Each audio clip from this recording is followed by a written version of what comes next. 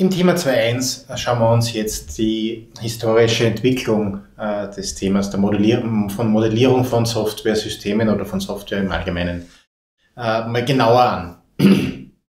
Warum macht man das überhaupt? Äh, warum bildet man Software, die ja ohnehin schon abstrakt als Source Code beschrieben ist, nur mal als äh, grafisches Flussdiagramm zum Beispiel ab? Der Hintergrund ist auch wieder historisch begründet, wenn man überlegt, wie sie Computerprogrammierung entwickelt hat. Äh, dann war es ja nicht so, dass man äh, schon in der Frühzeit mit so relativ gut lesbaren Sprachen, wie wir es heute mit Java, C oder was auch immer, diesen höheren Programmiersprachen zu tun haben, äh, dass das nicht immer gegeben war, sondern da hat man halt in Maschinensprache beziehungsweise teilweise sogar noch mit Lochkarten ähm, programmiert. Lochkarten heißt, ich habe einen Papierstreifen, wo äh, an bestimmten Positionen wirklich einfach Löcher gemacht worden sind und äh, je nachdem, wo diese an welchen Positionen diese Löcher waren, äh, hat halt der Computer bestimmte Anweisungen ausgeführt und genauso sind die Daten repräsentiert worden, auch wieder durch irgendwelche Löcher. Das ist jetzt nicht wirklich intuitiv verständlich, wenn man so eine Karte mit Löchern anschaut, was da damit repräsentiert ist. Ähm, das ist besser geworden mit äh, den sogenannten Maschinensprachen, äh, kennt man auch als Assemblersprachen, ähm, wo es schon zumindest textuell möglich war, dann zu beschreiben, was der Rechner dann tun soll, aber auf einer sehr, sehr niedrigen Ebene. Das heißt wirklich auf, auf Ebene von Einzelbefehlen des Prozessors. Das heißt aus technischer Perspektive eigentlich beschrieben, wie das Programm ablaufen soll. Lade einen Speicherwert, also lade einen Wert vom Speicher in ein Register im Prozessor. Lade einen äh, nächsten äh, Speicherwert von einem Speicherplatz in das andere Register und jetzt zähl die beiden Register zusammen und jetzt nimm das Ergebnis und speichere es irgendwo an einen Speicherplatz zurück. Also dieses ganz simple Zusammenzählen von zwei Zahlen waren jetzt schon ja, mindestens fünf Anweisungen, die man schreiben müsste. Äh, auch das nicht wirklich gut äh, intuitiv verständlich, wenn man dann so ein Listing hat mit äh, hunderten Einzelanweisungen, was da genau passiert unverständlich. Deswegen der Versuch, das äh, verständlicher darzustellen, zugänglicher zu machen äh, und so zu dokumentieren, dass jemand anders dann auch den äh, Quellcode, den Programmcode wieder verstehen kann und das aufeinander abbilden kann, die einzelnen Elemente, die da drinnen repräsentiert sind, vielleicht erkennen kann, wenn man es auch grafisch irgendwo dargestellt hat. Also der ursprüngliche Zweck, der erste Zweck, warum man das gemacht hat, war tatsächlich äh, Dokumentation von Programmen, damit die verständlicher werden. Das hat sich über die Zeit hin ein bisschen verschoben. Man hat erkannt, dass sie äh, solche grafischen Diagramme nicht nur zur Dokumentation eignen, sondern auch ein sehr gutes Mittel sind, dafür ein gemeinsames Verständnis darüber herzustellen, was ein Programm eigentlich tun soll und damit nicht nur Dokumentationszwecke erfüllen kann, sondern auch Designzwecke erfüllen kann. Das heißt, ich kann äh, bei der Konzeption von Software solche Diagramme verwenden, um zu beschreiben und zu kommunizieren oder auszuhandeln, wenn mehrere beteiligte Personen sind. Und wir haben eigentlich immer mehrere beteiligte Personen, zumindest den Softwareentwickler und den Fachanwender, der die Software nutzen soll, dass diese Personen ein gemeinsames Verständnis dafür bekommen, was soll denn die Software irgendwann einmal machen, was soll die tun, äh, wie soll die verwendbar sein, welche Funktionalität soll sie bieten. Dazu eignen sich diese Diagramme, diese grafischen, diagrammatischen Modelle, äh, die man erstellen kann. Äh, und das hat sie im Wesentlichen zum Hauptanwendungsbereich entwickelt. Wenn wir dann weiterschauen, wie die UML definiert ist, die ich in der Einführung bereits erwähnt habe, das sind im Wesentlichen sehr stark auf das Design von Softwaresystemen ausgerichtete Diagramme, äh, die man da verwenden kann. Wenn wir im Skriptum schauen, findet man das im Wesentlichen genauso beschrieben und dann nochmal runtergebrochen auf zwei aktuelle Anwendungsgebiete. Das wäre einerseits äh, das, was ich jetzt beschrieben habe, die Erschreibung von Anforderungen an eine Individualsoftware. Das heißt, ich beschreibe vollständig äh, die Anforderungen oder was ich von einem, von einer Software erwarte, die erst noch geschrieben werden muss. Das wäre äh, sehr stark an der technischen, an der Implementierungsebene äh, orientiert. Äh, näher am Bereich der Wirtschaftsinformatik tatsächlich ist der zweite Anwendungsbereich von Modellen im Bereich von Software. Das wäre die Beschreibung von äh, Anforderungen an eine Standardsoftware. Was bedeutet das? Standardsoftware ist Software, in der bestimmte Funktionalität, bestimmte Abläufe bereits implementiert sind, bereits äh, angelegt sind, dem üblicherweise sehr mächtig äh, ist äh, und als solche dann in einer Organisation eingesetzt werden kann. Äh, es ist nicht immer leistbar für die eigene Organisation eine maßgeschneiderte Software erstellen zu lassen. Ja, das ist einfach teuer, es repliziert Funktionalität, die schon hundertfach woanders auch umgesetzt worden ist. Deswegen gibt es den gibt's Standardsoftwaremarkt, zum Beispiel für äh, Enterprise Resource Planning Systeme, ERP-Systeme, das ist Standardsoftware, die nehme ich und setze in meiner Organisation ein. Die passt natürlich jetzt nicht zu 100% auf meine organisationalen äh, Strukturen, auf meine Abläufe, deswegen muss sie angepasst werden. Also Standardsoftware hat immer Anpassungspotenzial, Anpassungsschnittstellen, Konfigurationsschnittstellen. Und wie die äh, Anpassung vonstatten geht, kann wiederum mit Modellen beschrieben werden. Also hier kommen dann wieder die Fachanwender ins Spiel, die hole ich mir ins Boot, mit denen versuche ich zu erheben, okay, was soll meine Standardsoftware denn jetzt konkret in meiner Organisation leisten können, was soll die tun und versuche mit diesen Modellen abzubilden, äh, wie die Software konfiguriert werden muss. Das war tatsächlich der äh, große ähm, USP äh, der, äh, der Aris Software Suite. Ja, wir erinnern uns an das Aris Haus, dazu gibt es auch eine Software. Äh, und was äh, Aris hatte, war eine Kooperation mit SAP. Das heißt, SAP, Enterprise Resource Planning Standard Software, also Marktführer, Weltmarktführer im Wesentlichen, fast. Ja. Schwankt immer ein bisschen, Oracle ist da ein großer Player. Aber im europäischen Markt war SAP der, der Marktführer, oder ist es äh, nach wie vor.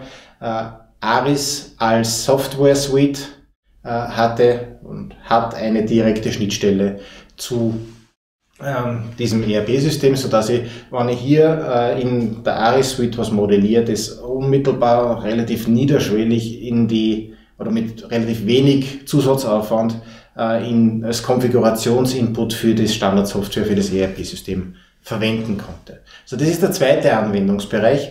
Äh, ich kann also äh, Individualsoftware beschreiben, also beschreiben, wie ein Softwaresystem umzusetzen ist. Ich kann auch äh, die Konfigurationsinformation für Standardsoftware mit äh, Modellen erheben. Als Wirtschaftsinformatiker sind wir sehr oft im zweiten Bereich unterwegs. Ähm, den kann ich aber nur sinnvoll nutzen, wenn ich den ersten Bereich verstanden habe, also wenn ich verstanden habe, wie denn Software überhaupt generell beschrieben wird. Deswegen schauen wir uns jetzt an, äh, wie sie diese Beschreibungssprachen für Software über die Zeit entwickelt haben und welche Konzepte da zum Einsatz gekommen sind. Wir werden merken, da sind ganz unterschiedliche Denkmodelle dahinter. Wir schauen uns drei Ansätze an, die alle drei unterschiedlich aufgebaut sind. Äh, und wir werden auch merken, dass sich der nach wie vor durchgesetzt hat, Flowcharts, die wir uns dann anschauen, die einerseits relativ intuitiv verständlich sind und auf der anderen Seite sehr flexibel äh, aufbaubar sind, im Gegensatz zu den anderen beiden Techniken. Die historische Entwicklung beginnt, also wenn man, wenn man in der Literatur nachschaut, in Publikationen nachschaut, findet man sowas wie Flowcharts irgendwann sogar zurück bis in den 1930er Jahren, da noch nicht im Kontext von Software, aber in der Ablaufbeschreibung von technischen Systemen durchaus schon vorhanden. Ähm, ab den 60er, 70er Jahren beginnt, dass man versucht, äh, Software grafisch zu beschreiben und die ersten beiden Ansätze, ähm, die wir da betrachten, sind das sogenannte Nassi-Schneidermann-Diagramm äh, und das Jackson-Diagramm. Das Nassi-Schneidermann-Diagramm ist also beide sind standardisiert, äh, beide sind irgendwann durch einen Standardisierungsprozess gegangen. Es ist klar, wie die auszusehen haben, eben Dokumentationszwecke. Wer weiß, wie ein Nasse-Schneidermann-Diagramm ausschaut, kann ein, oder welche Komponenten es haben kann, kann ein, einen Programmablauf, der in dieser Form beschrieben ist, auch verstehen, lesen und äh, das im Wesentlichen eins zu eins in Software übersetzen. Also da gibt es eine, einen Zusammenhang, der sehr nahe ist. Gerade bei Nasse Schneidermann-Diagrammen werden wir sehen, äh, im Wesentlichen haben wir da die Programmablaufstrukturen, die wir auch in Java als Text hätten, äh, hier grafisch abgebildet.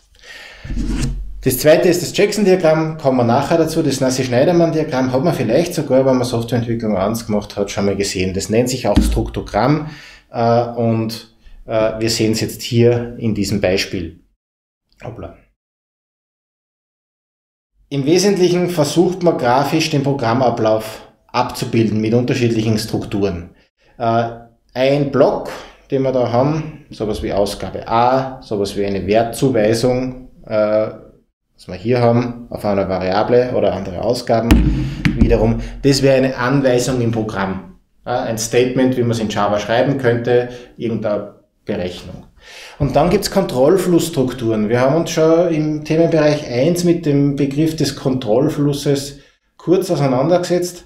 Äh, der Mechanismus, es ist der Mechanismus, um konzeptuell zu beschreiben, dass es in einem bestimmten Ablauf, in dem Fall ein Programmablauf, äh, Varianten geben kann, dass manche Sachen wiederholt ausgeführt werden müssen. Also Sachen, die beeinflussen, in welcher Reihenfolge bestimmte, Anwend äh, na, äh, bestimmte äh, Anweisungen äh, wirklich ausgeführt werden.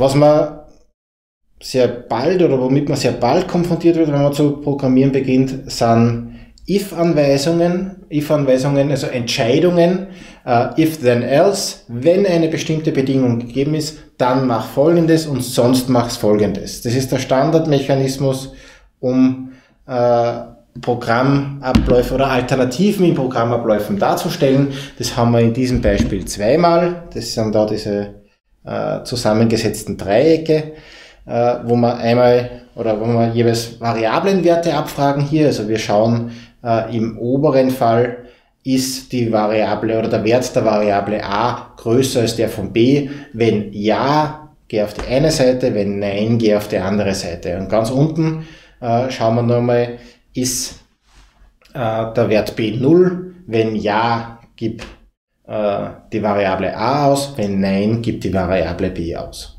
Jetzt fehlt uns da noch ein äh, Konstrukt, und das ist die sogenannte Schleife, die Wiederholung von Anweisungen in diesem Fall. Also es geht äh, um die Berechnung des größten gemeinsamen Teilers zweier Zahlen. Da gibt es den Euklidischen Algorithmus, ohne dass wir uns den jetzt näher nochmal anschauen. Den haben wir eben hier abgebildet. Und der sagt, äh, wiederhol äh, so lange, bis sowohl die, äh, also so lange, solange die Variable a größer 0 ist und die Variable b größer 0 ist. Und da haben wir jetzt zwei Aspekte drinnen. Wiederhol so lange, ne, also das ist eine Schleife, wie wir gehen also quasi diesen Block, der da reingeschachtelt ist, äh, mehrmals durch, bis eine bestimmte Bedingung erfüllt ist. Und im konkreten Fall ist das nicht eine einfache Bedingung, wie wir es bei den ifs hier unten haben, also a größer b oder b ist gleich 0, sondern eine zusammengesetzte Bedingung. Zusammengesetzte Bedingung heißt, wir haben mehrere Elemente in der Bedingung und wir verknüpfen die. Wir müssen beide Elemente prüfen und schauen dann, äh, wie verknüpfen wir die, um zu entscheiden, machen wir noch weiter oder nicht. Im konkreten Fall ist es ein und, eine und-Verknüpfung. Diese und-Verknüpfung äh, sagt aus, wir tun so lange weiter, jetzt im konkreten Fall äh, beim, bei der Weilschleife, solange a größer 0 ist und b größer 0 ist. Bedeutet, sobald, sobald eines der beiden 0 wird, äh, brechen wir ab. Das könnte auch was anderes sein. Die Bedingung könnte auch zum Beispiel ein Oder sein. Wenn wir ein Oder hätten, äh, würde man so lange weitergehen, solange a größer 0 ist oder b größer 0 ist. Also es reicht dann nicht aus, dass eines der beiden Null wird, so wie wir es gerade gehabt haben, sondern es müssten beide Null werden, dass wir wirklich abbrechen. Die dritte Variante, das Exklusive oder, das schauen wir uns später an, das spielt hier äh, an der Stelle noch keine Rolle, würde jetzt wahrscheinlich nur verwirren, wenn wir es äh, näher anschauen würden. Also wichtig, äh, für die Beeinflussung eines Programmablaufs oder generell eines Prozesses, wir werden das dann auch wieder später in der Geschäftsprozessmodellierung sehen, äh, für die Beeinflussung eines Prozesses äh, muss ich im Wesentlichen Bedingungen formulieren. Diese Bedingungen kommen bei ein if zum Einsatz, also bei Entscheidungen, in welche Richtung man weitergeht oder auch bei Schleifen. Und diese Bedingungen können beliebig komplex werden. Die kann ich zusammensetzen. Die haben immer Einzelkomponenten, die der Computer oder bei der Geschäftsprozessmodellierung dann wie auch immer auswerten kann. Ja, Entscheidung, die man mit Ja oder Nein beantworten kann. Äh, da können aber eben unterschiedliche äh, Komponenten zusammenkommen und die muss man irgendwie verknüpfen. Und das sind die sogenannten logischen Operatoren. Boolsche Algebra nennen sie das.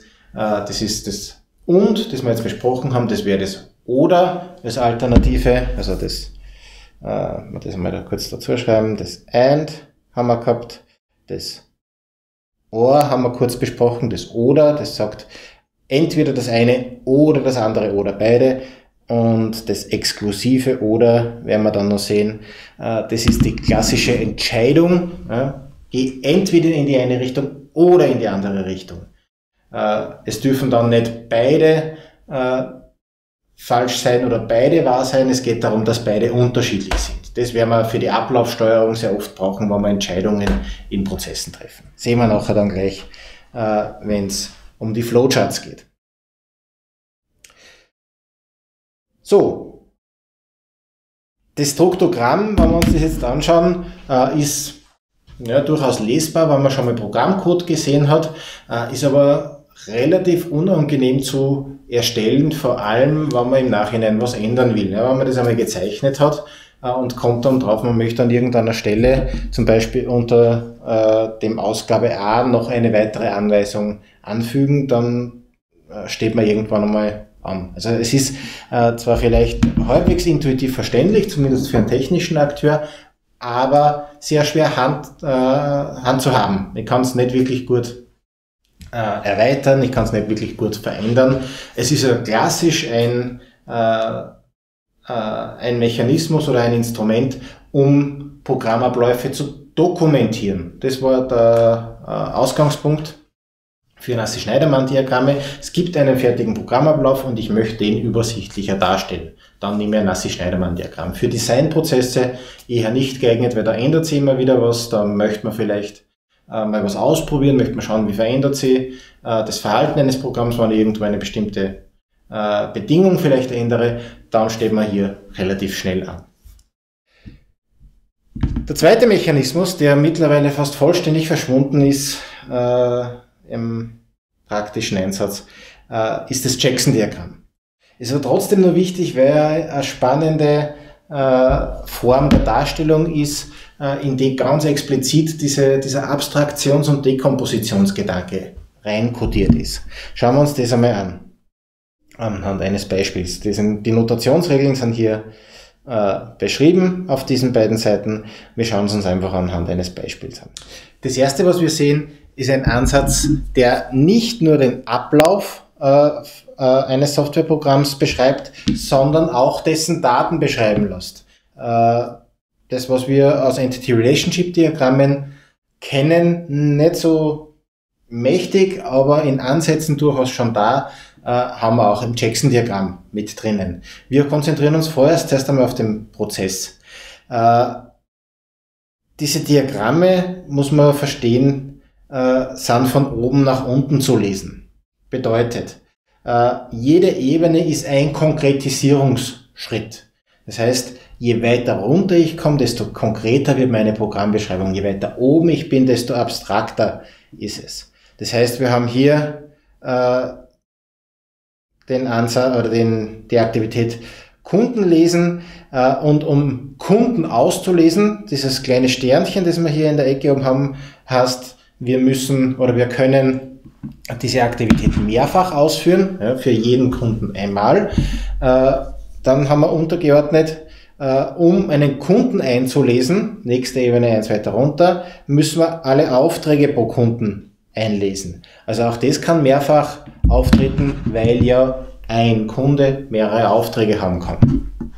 Das sehen wir übrigens in der Datensicht. Es gibt Kundendatensätze, äh, mehrere. Jeder Kundendatensatz kann mehrere Aufträge beinhalten und jeder Auftrag hat einen Auftragskopf und dann mehrere Positionen. Und das erkennen wir jetzt hier wieder.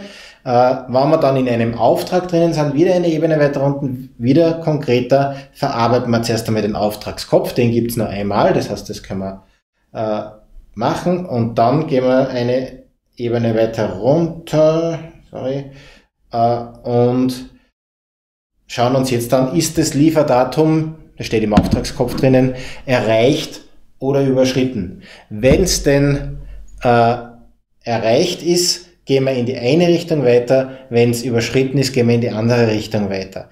Diese Alternativen werden im äh, Jackson-Diagramm mit diesem kleinen Kreis gekennzeichnet. Das heißt, wir haben hier äh, die Bedingung formuliert mit diesem Kreis, also das, das zu prüfende Datum äh, und die zu prüfende Bedingung formuliert, Lieferdatum erreicht oder überschritten. Dann gehen wir eine Ebene konkreter und hier beschreiben wir, welche, äh, welche Ergebnisse diese Prüfung bringen kann. Nämlich der Auftrag wurde ausgeliefert oder der Auftrag wurde nicht ausgeliefert. Und eines dieser beiden Dinge wird dann äh, ausgeführt, je nachdem, was die Prüfung ergeben hat. Wenn der Austrag noch nicht ausgeliefert wurde, ist die nächste Konkretisierung Drucken eines Entschuldigungsschreibens. Wenn der Auftrag ausgeliefert wurde, dann möchte man die Rechnung drucken. Und der hat wiederum dann drei Schritte. Äh, das ist zuerst das Drucken des Rechnungskopfes, dann das Drucken jeder einzelnen Auftragsposition. Ein Kundenauftrag kann mehrere Auftragspositionen haben. Äh, und dann das Drucken der Rechnungssumme. Das Verarbeiten der Auftragsposition hat nur einen Unterschied, nämlich das Drucken der Rechnungsposition. Hier könnte es dann auch noch mehrere äh, Unterschritte vielleicht geben. Also was wir von der Logik her in der Programmdarstellung erkennen, ist, dass wir von oben nach unten von abstrakt zu konkret gehen, dass wir, wenn wir auf einer Ebene mehrere Aktivitäten haben, üblicherweise diese sequenziell abarbeiten. Also auch das ist eine Notationsregel, die nicht durch Pfeile dargestellt ist, aber implizit so festgelegt ist. Das heißt, hier gibt es eine Sequenz. Und wenn da diese Kreise drinnen sind, hier, dann ist es keine Sequenz, sondern dann ist es eine Alternative. Und wenn man das weiß, dann kann man wiederum ein Jackson-Diagramm lesen und interpretieren.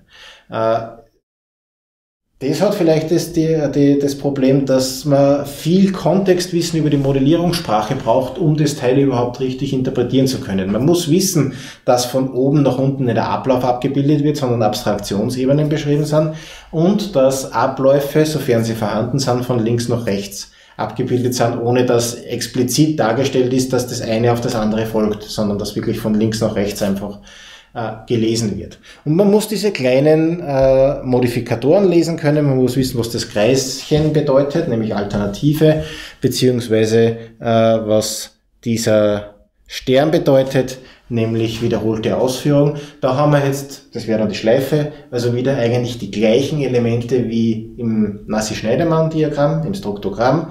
Schleife Entscheidungen, hier aber auf eine komplett andere Weise abgebildet und viel stärker fokussiert auf, den, auf das hierarchische Runterbrechen der einzelnen Elemente.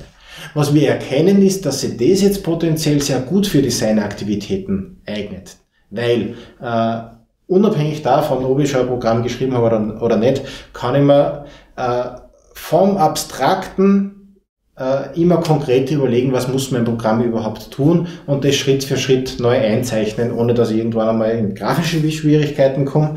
Äh, und gleichzeitig habe ich ein, eine Denkstütze, ein Hilfsmittel, das mir dabei hilft, nicht den Überblick zu verlieren. Ja, weil ich immer, immer weiter zerlegen, weiter zerlegen kann äh, und weiß, okay, hier auf der anderen Seite gibt es vielleicht noch was, was ich noch konkretisieren muss, aber jetzt konzentriere ich mich mal auf den anderen Teil. Äh, das wäre an dieser Stelle der Vorteil des Jackson-Diagramms, ist aber ob der, wie gesagt habe, das, das relativ, äh, der, der, der relativ unintuitiven Notation. Also wie gesagt, man musste wissen, wie das zu lesen ist, äh, sonst kann sonst hat man keine Chance, das zu verstehen. Ähm, relativ schnell wieder äh, verschwunden dann irgendwann. Was übrig geblieben ist, äh, sind die Flowcharts, die schauen wir uns im nächsten Thema an. Äh, zusammengelaufen ist es aber alles irgendwann einmal äh, ab so den 90er Jahren in der sogenannten UML. Die habe ich bereits erwähnt. Die UML, die Unified Modeling Language, hat das Ziel gehabt, den Wildwuchs an Modellierungssprachen, der in den 90er Jahren aufgekommen ist. Also irgendwann hat, hat jeder seine eigene Modellierungssprache entwickelt wie das populär geworden ist. Irgendwann hat man gesagt, so, das äh, funktioniert so nicht mehr, das können wir so nicht weitermachen. Äh, da muss es einen Standardisierungsprozess geben. Wir müssen uns einigen darauf, welche Modellierungssprachen wir verwenden, weil sonst geht uns der, der, der Zweck dieser Modellierungssprachen verloren. Wenn keiner mehr weiß, wie die Semantik einer Modellierungssprache zu lesen ist, äh, kann es nicht mehr verwenden, um ein einheitliches Verständnis herzustellen. Das heißt, wenn jeder seine eigene Modellierungssprache verwendet, äh, dann ist es vielleicht nett für die eigene Dokumentation, aber darüber hinaus schon nicht mehr. Deswegen ist dann dieser UML-Prozess gestartet worden und Ende der 90er äh, mit der UML 1 abgeschlossen worden. Mittlerweile sind wir äh, bei der UML 2 beziehungsweise 2.2 oder 2.2 irgendwo in der Gegend, also Fortschritt, der, der, große Schritt war nochmal die UML 2, das war die erste große Weiterentwicklung. Äh, und die UML beinhaltet einen Satz von Modellierungssprachen, ja, das sind mehrere, die aufeinander abgestimmt sind und äh, wo definiert ist, wie die einzelnen Elemente in diesen Sprachen zusammenhängen, um Eigenschaften eines Softwaresystems zu beschreiben. Und zwar Struktur und Verhalten. Wenn wir im Skriptum kurz weiterschauen, finden wir ganz hinten, also was ich jetzt erzählt habe, ist hier nochmal beschrieben, findet man auf der zweiten Seite äh, ein Überblicksdiagramm, das ist jetzt was Hierarchisches, äh, wo beschrieben ist, welche Arten, welche Diagrammarten es in der UML denn gibt. Äh, das sind zwei große Gruppen, sogenannte Strukturdiagramme und Verhaltensdiagramme. Ein Strukturdiagramm bildet, sagt der Name schon, den Aufbau eines Software-Systems ab geht nicht auf dessen Verhalten oder ja, auf dessen Verhalten ein, auf dessen Abläufe ein. Äh, haben wir auf Organisationsebene ebenso gehabt, wenn wir uns ans Ares-Haus erinnern, sowas wie ein Organigramm wäre ein Strukturdiagramm, beschreibt die Struktur einer Organisation. In Softwaresystemen gibt es da unterschiedliche, denen wir uns jetzt an der Stelle nicht näher widmen. Das kommt ohnehin und dann in Software Engineering nochmal viel genauer äh, sowas wie ein Klassendiagramm, also wo ich beschreibe, welche Komponenten habe ich überhaupt und welche Eigenschaften haben die. Äh, sowas wie ein Verteilungsdiagramm, wo ich mir überlege, äh, wo sind meine Komponenten angesiedelt, auf welchen Rechnerknoten, so dass ich dann sagen kann, okay, wie, wie kommunizieren die, welche Kommunikationswege muss ich dann äh, realisieren, damit die damit mein System insgesamt seine Aufgabe erfüllen kann. Ähm, auf der anderen Seite die Verhaltensdiagramme beschreiben nicht, eben nicht die Strukturen, sondern die Abläufe in meinem Softwaresystem. Und davon werden wir uns mehrere anschauen. Das sind auf der allgemeinsten Ebene, das war die Idee, die Fachanwender irgendwie ins Boot zu holen mit der UML, die sehr technozentrisch ist. Äh, das Anwendungsfalldiagramm, wo man sich überlegt, okay, was mache ich mit dem Softwaresystem und was soll denn, wenn ein Benutzer irgendwas Bestimmtes macht, was soll das System dann tun? Hin zum, und das werden wir uns dann im Thema 3 anschauen, Aktivitätsdiagramm, das nicht nur beschreibt, was soll das System tun, sondern wie tut's denn, äh, was es tun soll.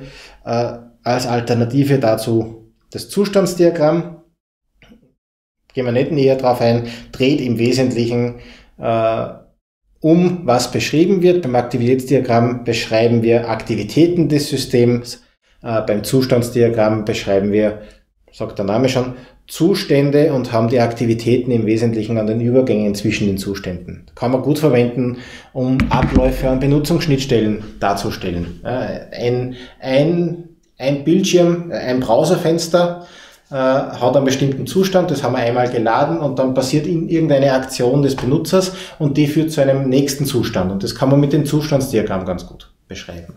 Und dann haben wir eben die Kommunikationskomponente dabei, gibt es unterschiedliche Interaktionsdiagramme.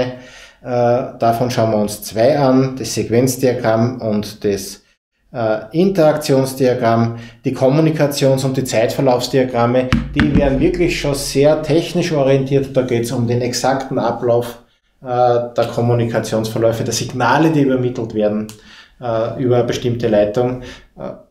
Braucht man zur detaillierten Beschreibung oder zur konzeptuellen Beschreibung von Software üblicherweise eher selten. Äh, Wenn es aber wirklich auf technische Ebene runtergeht, dann kommen die zum Einsatz. So, wir werfen aber jetzt, bevor wir uns der UML widmen, nochmal einen, einen näheren Blick auf die Flowcharts. Äh, als den dritten großen Player neben den Nassi Schneidermann und dem Jackson-Diagramm äh, aus der Frühzeit der Modellierung und dann widmen wir uns nochmal den UML-Diagrammen, die wir gerade besprochen haben.